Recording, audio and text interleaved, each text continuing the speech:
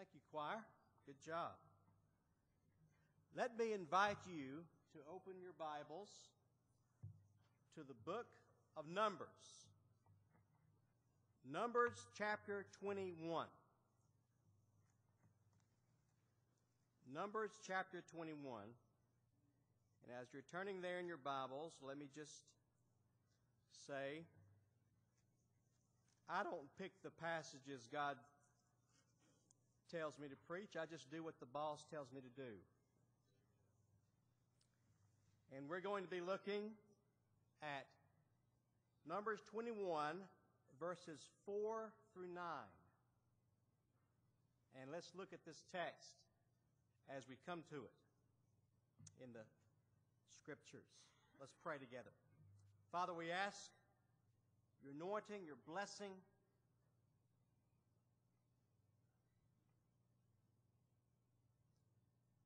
upon the reading, the preaching, and the hearing of your perfect word. And we ask in the name of the Lord Jesus Christ. Amen. In his book, Why Men Rebel, Ted Gurr explains why riots, rebellions, and civil wars occur. He makes a lot of interesting observations in his book, but his most interesting observation, in my opinion, is his claim that the primary cause of rebellion is discontent. He says that discontent arises from a feeling that people are being deprived of something they expect to receive. He says that people become discontent when they are denied that which they feel entitled. I think he's right. I think he's right on the money.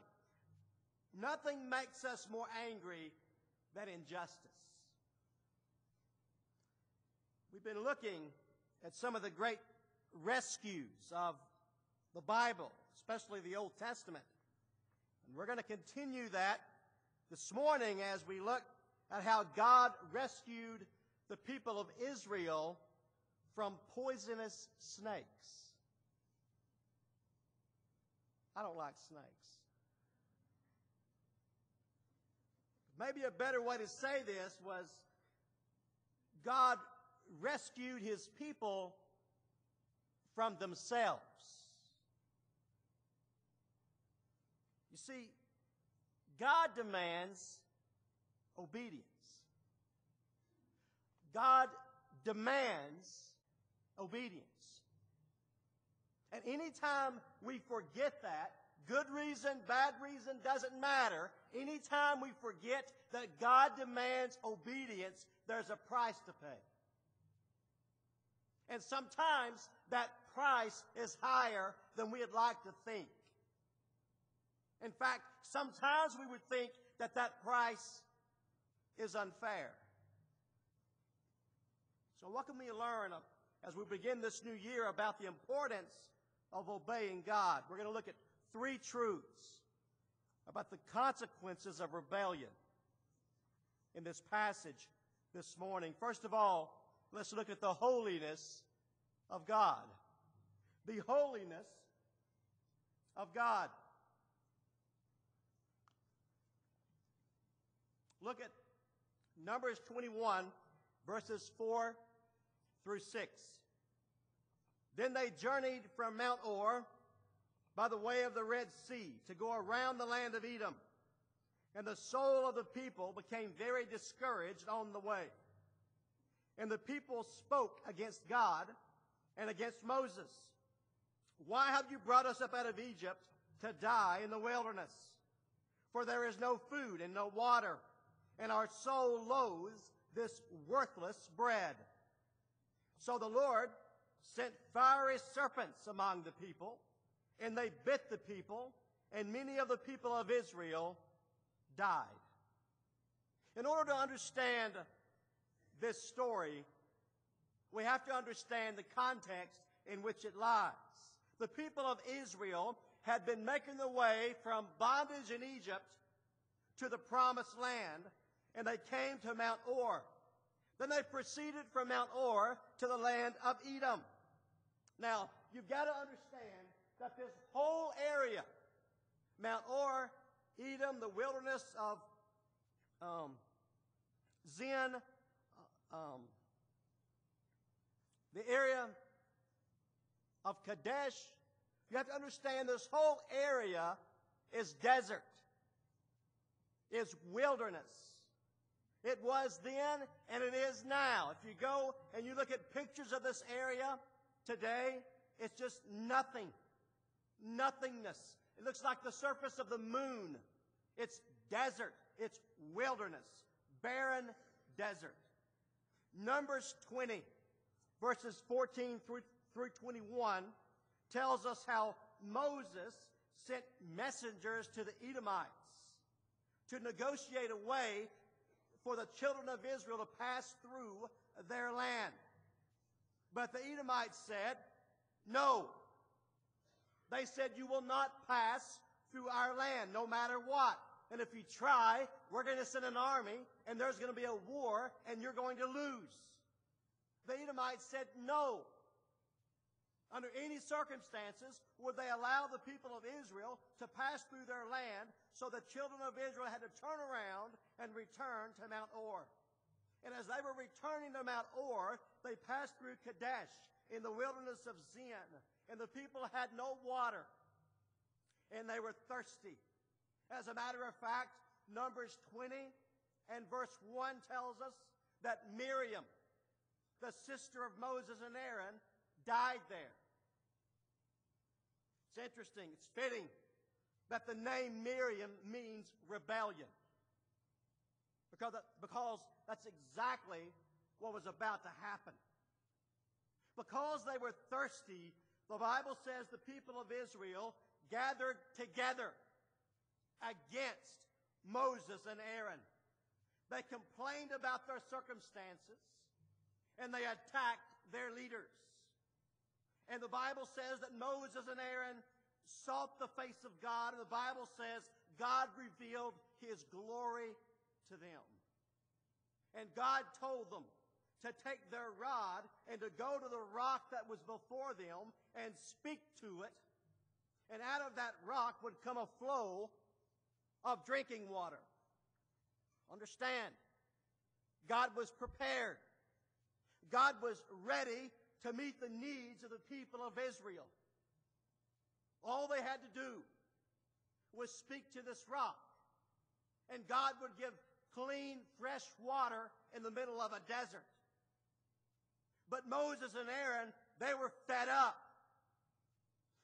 No doubt they were grieving the death of their sister who had apparently died of thirst in the desert. They were probably angry at God for taking her. They were tired and thirsty themselves, and you know they were sick and tired of this complaining people.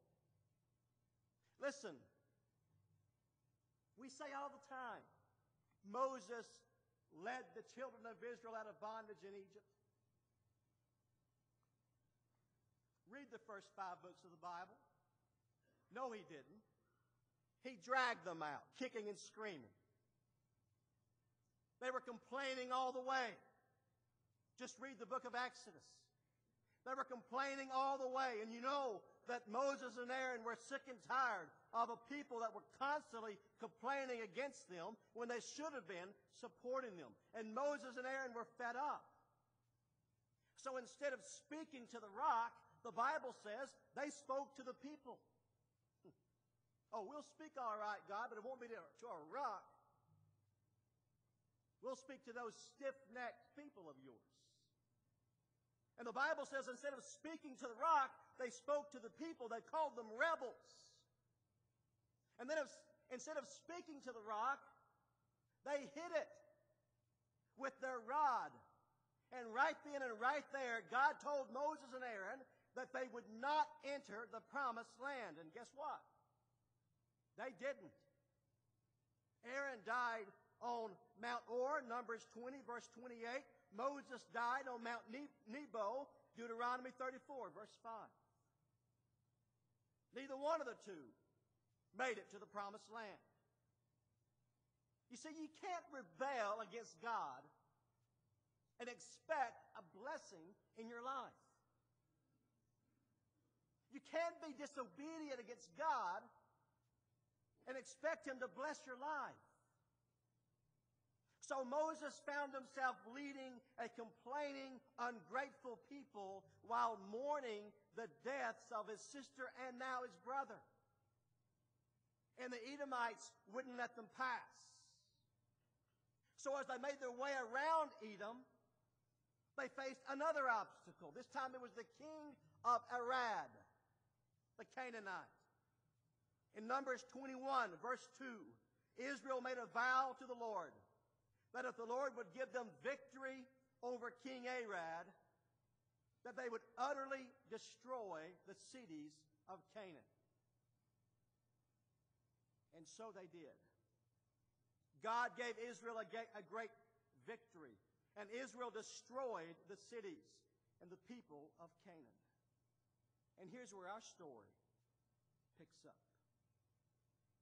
As they continued to track to the promised land, the Bible says the soul of the people became discouraged. And they began to complain once again against God and against Moses. But this time was different. This time they went too far. They complained about being thirsty, something they had done before. But this time, they complained against the manna. They called it worthless bread. Now understand, God is full of grace and mercy. He's holy. But to complain against the grace of a holy God is not only sinful, it's foolish. It's dumb. As we begin a new year, we need to remember God is holy and He's just. We need to, we need to remember that we're dealing with a holy and a righteous God who will judge us when we're disobedient. Secondly, let's consider the importance of repentance. Verse 7, Numbers 21, verse 7. Therefore, the people came to Moses and said, We have sinned, for we've spoken against the Lord and against you. Pray to the Lord that he take away the serpents from us. So Moses prayed for the people. Here we see in this passage, we see two very important Old Testament types of Christ. We see the serpent and we see the bread. Both are emphasized in the Gospel of John. John chapter 3, verses 14 and 15 says, And as Moses lifted up the serpent in the wilderness, even so must the Son of Man be lifted up, that whoever believes in him should not perish but have eternal life. In John chapter 6, Beginning in verse 32, the Bible says, Then Jesus said to them, Most assuredly I say to you, Moses did not give you the bread from heaven, but my Father gives you the true bread from heaven. For the bread of God is he who comes down from heaven and gives life to the world. Then they said to him, Lord, give us this bread always. And Jesus said to them, I am the bread of life. He who comes to me shall never hunger, and he who believes in me shall never thirst. So while the people of Israel were wandering in the desert, they had been kept alive by the manna, the bread that God miraculously provided for them every morning. One day's supply at a time. So when they referred to the bread of God as worthless, they, as Jesus pointed out in John chapter 6, they were calling God worthless. Folks, you don't do that. You can't do that without consequences. You can't curse God and continue to curse God through word or deed without consequences in our lives. So God sent poisonous snakes to bite them and to kill them. You see, ironically, their, their venom, their hate, their anger toward God led to the judgment of God. Ironically, God gave venom for venom. And only after they began to feel the effects of the judgment of God did they repent. Only after they began to feel the heat, the pain of the judgment, did they repent. And when they repented, they repented of both the way they had treated God and the way they treated Moses. There's a message there. We can't treat God and we can't treat his ordained leaders with disrespect and then expect a blessing from God. God doesn't bless that. But he does bless godly, genuine repentance. So their leader, so Moses interceded for them and prayed for them that God would remove his judgment.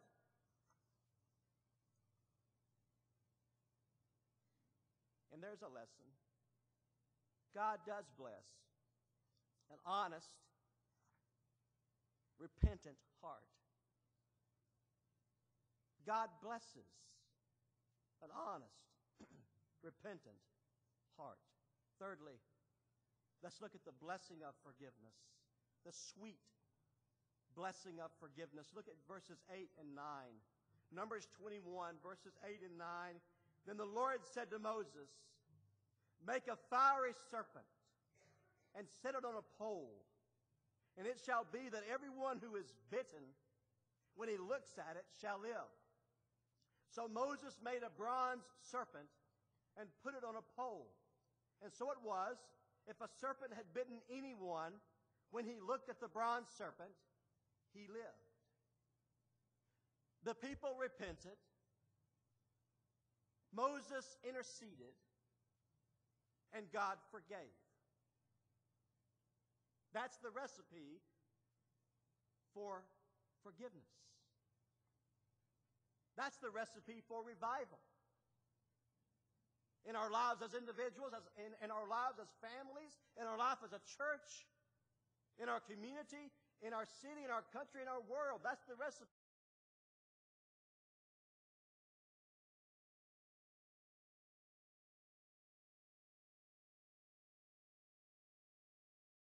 for revival. This plague of snakes seems to have come on quickly and then spread quickly. The Bible goes out of its way to tell us these were horrible snakes. The word for fiery in verse 6, it refers to their bites. Apparently, the bites of these snakes were extremely painful and led to an agonizing death. But the people repented. And God forgave. But I want you to notice the, the remedy. And this is the most important part.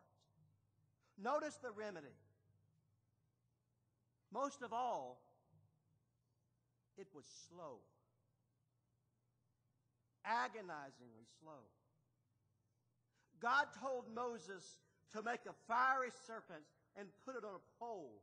And the Bible says that Moses made a bronze serpent and he put it on a pole. Now, where were they? Remember? They're in the middle of a desert. They're in the middle of wilderness.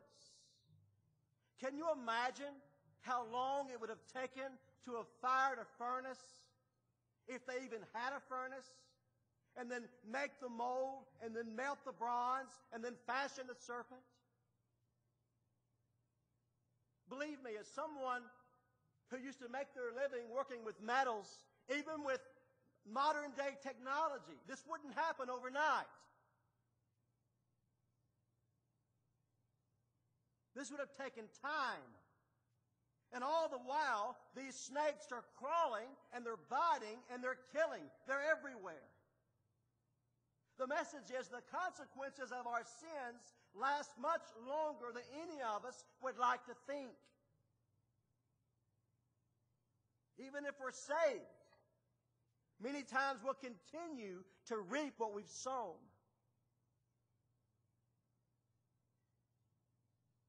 in our life. But the process gets slower. To slow the, the remedy down even further, I'm sure that Moses had to be very, very careful here. The lay leaders of Israel had to be very, very careful. Do you remember the second commandment? You remember the second of the Ten Commandments? Thou shalt not make any graven image. Well, what was God commanding Moses to do? Sounds like make a graven image. It sounds like that's exactly what God was calling Moses to do. So Moses had to make sure that he was hearing from God and that he was doing the right thing.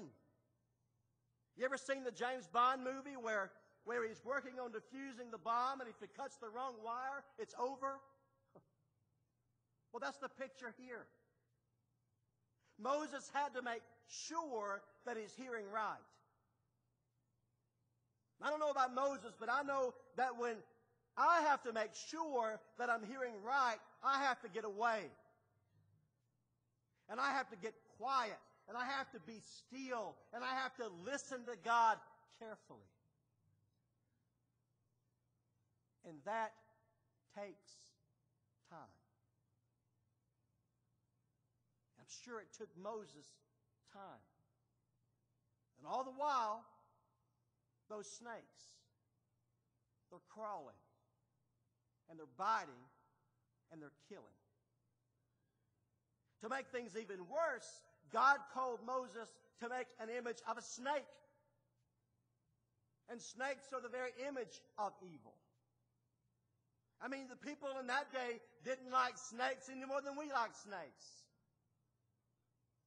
And God was, and Moses had to have been saying, Lord, you want me to make an image of what?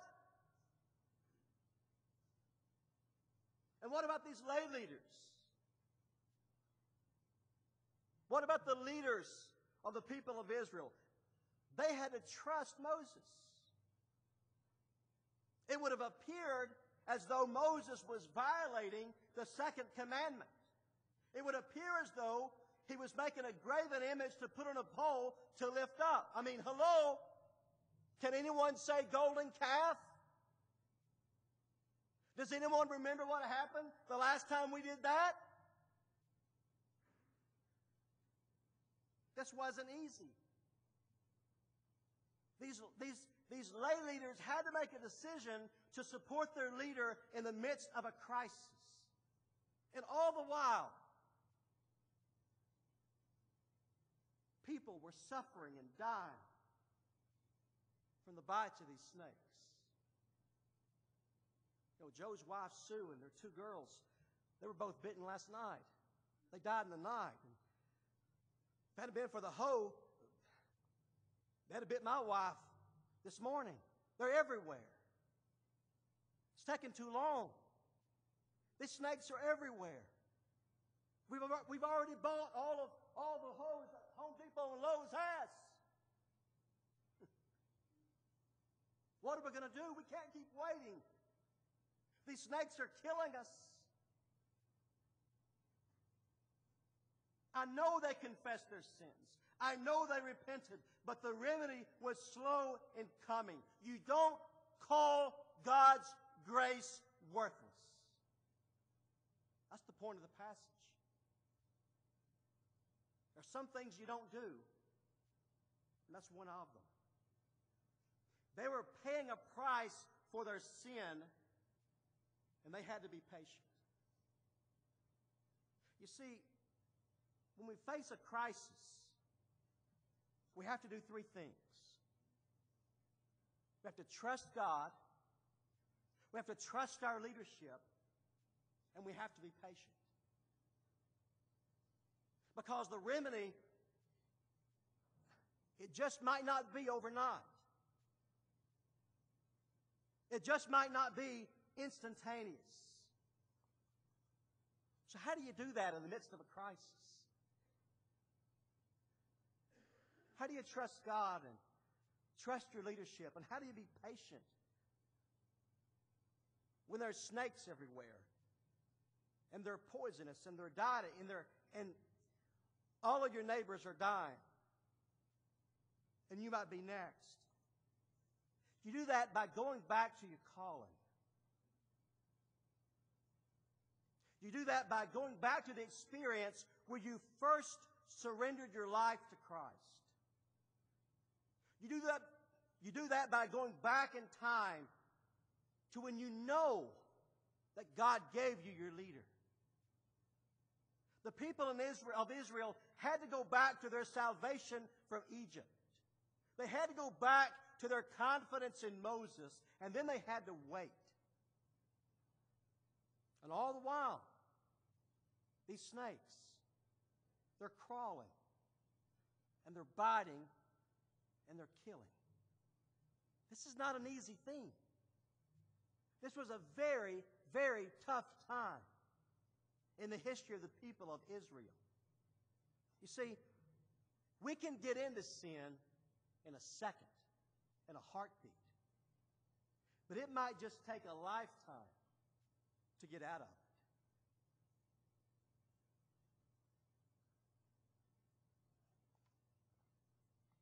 God was teaching them. And He's teaching us this morning about the nature and the danger, the seriousness of sin. Just as the people had sinned by calling God's gracious bread from heaven worthless. So God in the remedy transformed an instrument of death into a source of life. Whoever was bitten by the judgment of God, by those snakes, and looked upon the bronze serpent, the Bible says, would be healed. Notice the Bible never says the snakes would stop biting. How long do they bite? We don't know. The Bible never says the snakes would stop biting. The Bible just says God would give a remedy to save their lives.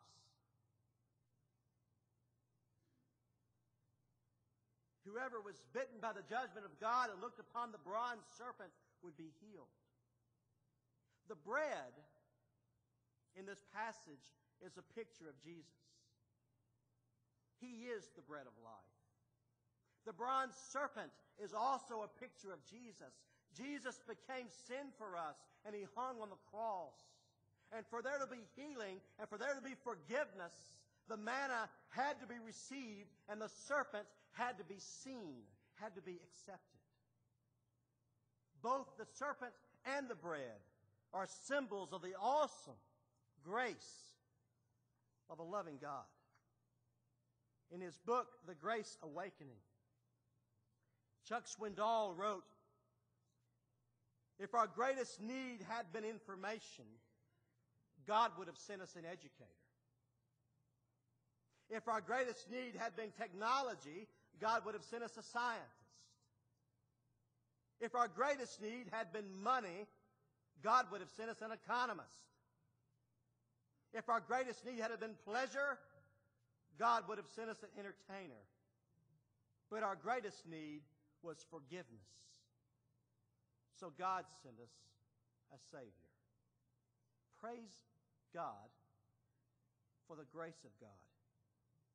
And pray that we have patience as we repent of our sin, as we wait on God. Let's pray. Father, we hear you.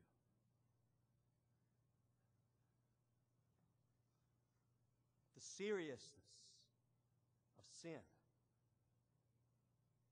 the danger of sin, the holiness,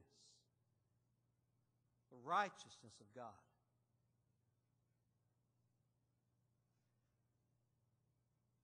Oh God, forgive us.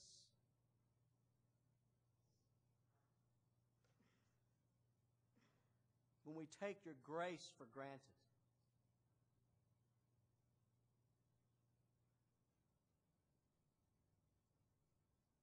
Father, we thank you that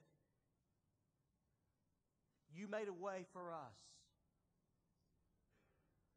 through the person, the sacrifice of Jesus Christ for our sins to be forgiven of us. We thank you for that salvation. But God, thank you for reminding us that the sting of sin is still painful. Yes, we're saved from the death, eternal death. But Father, we're not always delivered from the consequences. Give us patience as we learn, as we wait upon your deliverance. Pray in the name of Jesus Christ. Amen. Amen. If you've never prayed to receive Jesus Christ as your personal Savior and Lord, you need to come and do that this morning.